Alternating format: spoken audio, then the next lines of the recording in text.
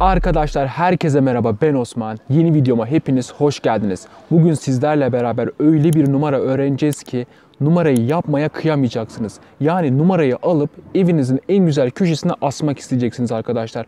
Numarayı ben gerçekten çok beğeniyorum. Numarada hem teknik var, hem el becerinizi geliştirme var, hem de sunum yeteneğinizi geliştirme var. Yani bir numaradan daha fazla ne isteyebilirsiniz ki? Evet, neymiş bu numara falan dediğinizi duyar gibiyim. Şimdi sizleri daha fazla bekletmeden hemen numaranın performansına geçebiliriz arkadaşlar. Herkese iyi seyirler. Arkadaşlar sihirbazlık numaramın performansına hepiniz hoş geldiniz. Bugün sizlere öyle bir numara sergileyeceğim ki hepiniz hayretler içinde kalacaksınız ve nasıl yapıldığını merak edeceksiniz. Bu numarayı hatta sizlere yeni destemle sergilemek istiyorum. İlk defa bu desteğiyle bir numara sergiliyorum. Bu arada kıymetinizi bilin. Hemen destemizi çıkaralım arkadaşlar. Gördüğünüz gibi içi boş. Hemen kutumuzu atalım ve kartlarımızı alalım. Şu anda yanımda bir seyirci olmadığı için seyircinin rolünü ben oynayacağım. Siz seyirci varmış gibi hayal edip ona göre izleyebilirsiniz. Şu anda seyircinin bir kart seçmesi gerekiyor. Örneğin bu olsun. Gerçekten de istediği kartı seçiyor. Şöyle kameraya göstereyim. Umarım odaklamıştır. Kartını araya bir yere atalım arkadaşlar. Şöyle yandan koyalım hatta. iyice inandırıcı olsun. Şu anda arada bir yerde ve gönderdik. Şöyle usulen birkaç kere karıştırayım ben. Siz de tabii ki karıştırmanız gerekiyor. Şimdi burada yapmamız gereken tek şey seyirciye onu aldatıcı sorular yönlendirmek. Örneğin kartının nerede olduğunu sorabilirim. Kartının nerede olduğunu düşünüyorsun dediğimde ortada, üstte veya en altta diyebilir. Bu gerçekten önemli değil. Biz burada desteği ikiye bölüyoruz arkadaşlar. Bir taraf kapalı, diğer tarafta kapalı. Hemen bunu değiştirelim. Alt tarafı açık hale getirdik. Alt taraf gördüğünüz gibi hepsi açık. Bunu da şu şekilde ikiye bölüp sandviç edelim. Harika. Şu anda ne yaptık? Alt, üst, alt. Desteği iyice karman çorman yaptık. Yani seyircinin açısından düşündüğümüzde imkansız gibi onun kartını bulmak. Burada seyirciye tekrar bir soru yönlendirebiliriz. Seçmiş olduğu kartın açık mı kapalı mı olduğunu. Örneğin seyirci kapalı olduğunu düşünsün. Biz de şu şekilde desteği karıştıralım. Gördüğünüz gibi kapalılar, açıklar veya da tekrar yapalım açıklar. Deste gerçekten de karışmış bir durumda. Seyirci kapalı olduğunu düşünsün. Biz de parmağımızı şıklatalım. Bütün destek açılsın ve sadece ve sadece seyircinin seçmiş olduğu kart kapalı hale gelsin. Ve o kart da tabii ki sinek altıydı. Evet şu anda etkilenmiş olabilirsiniz. No way what the fuck dediğinizi duyabilirim.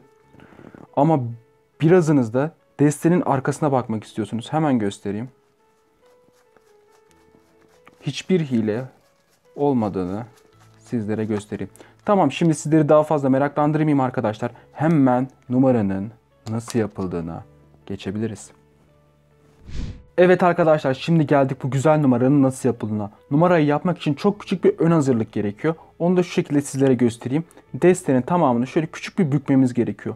Bu bükme için endişe etmeyin kesinlikle. Numarayı yaptıktan sonra eski haline dönüyor destemiz ve hiçbir zarar vermiyor. Şimdi büktükten sonra destenin yarısını aşağıya alıyoruz. Yani şöyle bir çıkıntı elde etmemiz gerekiyor. Asıl amaç bu. Bu çıkıntıyı iki yerde kullanacağız biraz sonra. Şimdi destemiz kapalı ve açık şeklinde tasarlandı ve bunu da kutuya kesinlikle koymamız gerekiyor. Şimdi kutunun öneminden bahsedeyim sizlere. Şimdi seyircinin dikkatini dağıtmamız gerekiyor başta. Çünkü desteği çıkardığımızda şu şekilde çıkartalım. Kutunun boş olduğunu seyirciye göstermemiz gerekiyor. Sanki kutu hileliymiş gibi seyirciler kutuya odaklanıyor arkadaşlar. Aslında bütün düzenek burada. Bu sadece dikkat yanıltması diyebilirim. Şimdi kutuyu atalım, numaramıza geçelim. Şimdi numaranın en büyük dezavantajı karşı tarafın üstlerden bir yerlerden kart seçmesi gerekiyor. Bunun için de ben şöyle bir yöntem geliştirdim. Şimdi desteği ikiye ayırıyoruz ya önlü arkalı diye. Üste ayırdığımız desteği biraz fazla tutabiliriz. O yüzden burası biraz daha fazla olabilir şansımız diye düşünüyorum.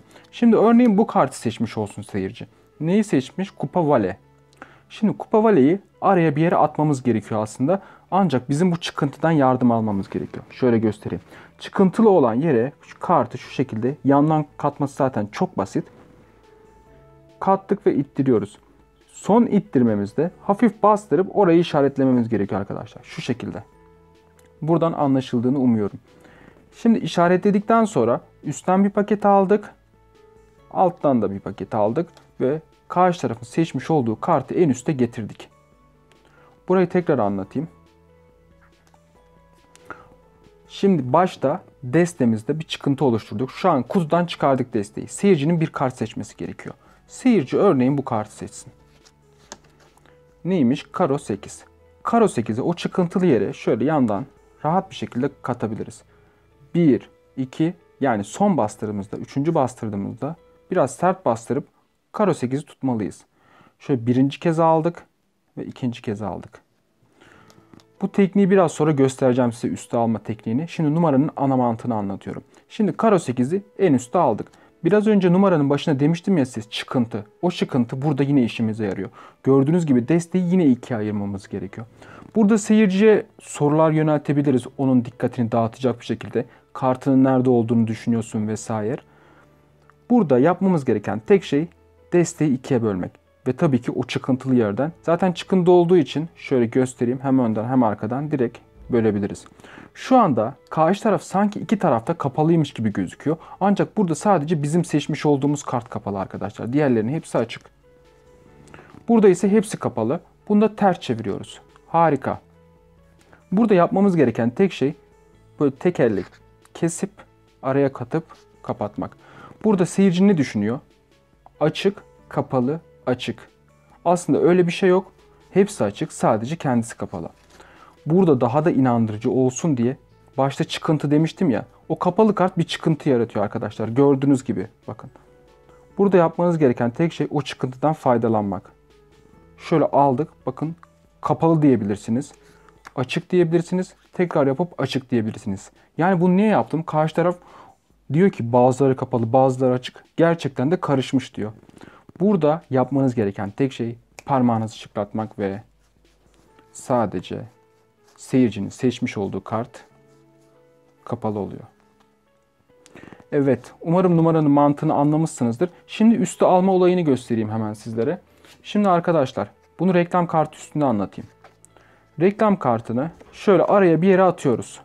Gerçekten de araya bir yere attık. 1, 2. Son bastırmamızda baş parmağımızla iyice bastırıyoruz. Şöyle yandan göstereyim. Bastırdık ve orayı işaretledik. İşaretledikten sonra yapmamız gereken bunun bayağı bir yöntemi var. Örneğin ilk alt yöntemini göstereyim. 1, 2 hamlede üste alabiliriz. Veyahut da üst, üst yöntemini de göstereyim. 1, 2, üçüncü de çok bastırdık. Bakın bir paket buraya aldık. Diğer paket buraya aldık. Yine bir şekilde üste almış olduk. Umarım anlamışsınızdır burayı da. Anlamadığınız yerler olursa kesinlikle çekinmekten kaçınmayın diyeyim. Biraz garip bir cümle oldu. Numaramız bu kadardı. Umarım anlamışsınızdır ve sizler de uygularsınız bu numarayı.